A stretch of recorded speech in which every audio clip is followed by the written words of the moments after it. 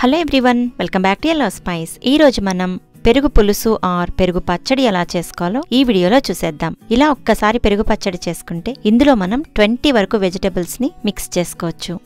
దీనికోసం ఇక్కడ నేను ఒక బౌల్ ఆఫ్ పెరుగు తీసుకున్నాను. ఈ పెరుగు చాలా చిక్కగా ఉండాలన్నమాట.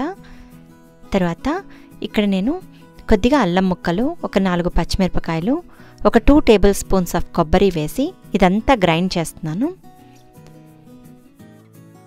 ఈ గ్రైండ్ చేసుకుని ఈ పేస్ట్ని మనం పక్కన పెట్టేసుకుందాం.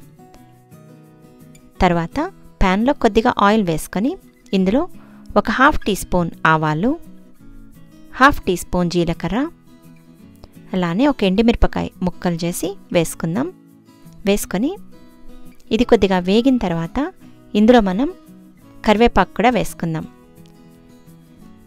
ఇదంతా ఫ్రై చేసుకుని ఇందులో నేను ఒక టెన్ గార్లిక్ వరకు వేస్తున్నాను. ఇది కంప్లీట్లీ ఆప్షనల్. మీకు ఇష్టం లేకపోతే వేసుకోవాల్సిన అవసరం లేదు. బట్ ఇది వేసుకుంటే బాగుంటుంది. ఇది వేగిన తర్వాత ఒక ఆనియన్ చిన్న చిన్న ముక్కలుగా కట్ చేసి వేస్తున్నాను. ఈ ఆనియన్ కంప్లీట్గా కుక్ అయిపోకూడదు మనకి. కొంచెం రాగా ఉంటేనే బాగుంటుంది. ఇది ఒక్క నిమిషం వేగిన తర్వాత ఇందులో ఒక టీ స్పూన్ సాల్ట్ వేసుకుందాం. వేసుకొని ఇది మిక్స్ చేసుకొని తర్వాత మనం గ్రైండ్ చేసి పెట్టుకున్న పేస్ట్ని యాడ్ చేసేసుకుందాం.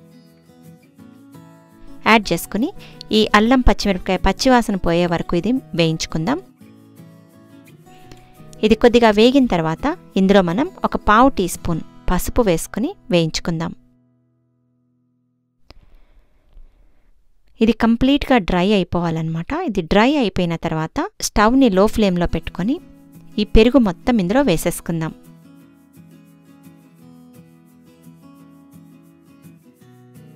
వేసుకొని ఇది స్లోగా మిక్స్ చేసుకుందాం. ఇదంతా మిక్స్ చేసుకున్న తర్వాత లో ఫ్లేమ్లోనే ఈ పెరుగుని మనం బాయిల్ చేసుకుందాం.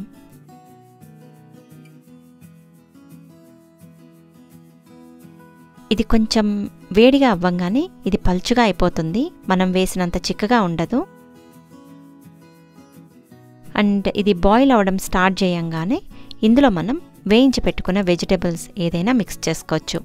ఇక్కడ నేను పొట్లకాయ వేయించి పెట్టుకున్నాను. ఇది మిక్స్ చేస్తున్నాను. మీరు ఇదే రకంగా క్యాప్సికమ్ పొట్లకాయ బీరకాయ క్యారెట్ సొరకాయ ఇలా చాలా వెజిటేబుల్స్ ఒక ట్వంటీ వరకు వెజిటేబుల్స్ని మనం ఈ పెరుగు పచ్చట్లో కలుపుకోవచ్చు. ఇది చాలా చాలా టేస్టీగా ఉంటుంది అండ్ చాలా సింపుల్గా చేసేసుకోవచ్చు. మీరు ఈసారి పెరుగు పచ్చడి ఇలా ట్రై చేయండి. ట్రై చేసి మీకు ఎలా వచ్చిందో నాకు చెప్పండి. Please like share and subscribe. Thank you so much for watching. See you next time.